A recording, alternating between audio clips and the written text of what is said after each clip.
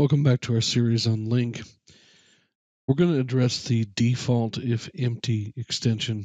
This extension is actually quite useful if you have a list or enumerable of something, and if that list or enumerable is empty, you want a default value of the type that's in the list. In this case, you know, we have a list of customers, right? And so I've generated a default customer as well that can be used if the list is empty. Now, in the case of this particular line here, that list isn't going to be empty. There's going to be 10 customers in there. And so what we're going to do is we're going to write all of those customers out to the console. But I've also surfaced this empty list option, which is truly an empty list of, of customers. And so in this case, it's actually going to render out the default customer that is part of the, the data object here. Now, I've also offered this option. So when you don't pass a value in, what you end up getting is the default value for that type. In this case, this is a reference type. So what we're facing here is a null.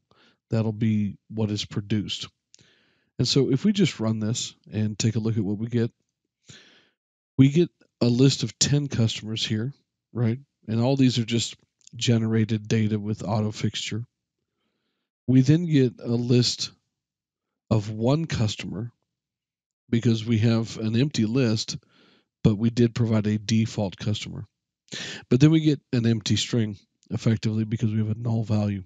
So we wrote a null value or an empty string out to the console because that particular list was empty and we didn't actually provide a default value for the type.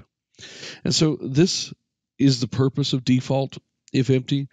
I think that it's actually a pretty useful um, extension. And I think you'll find that there are times when, let's say, you're listing data to, um, a, you know, a, a web page,